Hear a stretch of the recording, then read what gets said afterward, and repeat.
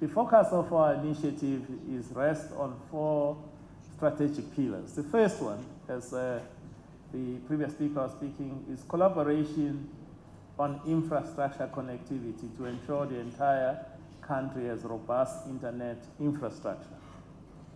Uh, currently, if you look at the 3G coverage, it's very high in South Africa, but when you go to rural areas, it's very low.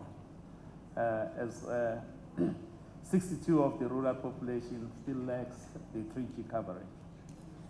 The second pillar is that one of uh, encouraging affordable access to broadband and devices and ensure the, uh, in order to ensure the uptake uh, of the use of the internet. The third one is championing the skills, training, and awareness so that South Africans becomes digital astute and use internet for their socio-economic development. And uh, the last one is the local content, uh, developing local content to stimulate the demand on the use of internet and support e-government strategies as well as SMMEs in this regard. Maybe just to highlight what has happened in this partnership, particularly from the private sector.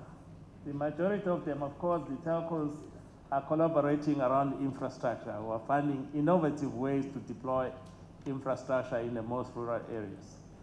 But the other IT companies who are partnering with us, they are looking at training the citizen to use internet.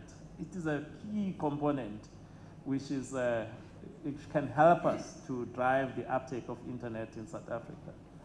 As government, we see internet as a transformative tool to increase productivity and efficiency across all sectors, not just on the ICT sectors, across all sectors. As a developing country, we emphasize fostering strategic initiative for inclusive growth and improve wealth creation, as well as income distribution through development of SMEs, innovation and research, shared digital economy, which in turn fosters foster revenue and wealth generation, as well as employment creation for all.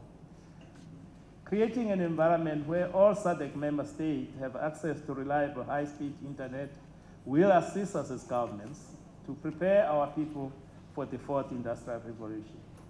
We need to enable our people to exploit the internet economy and make them extract the benefit of this fourth industrial revolution.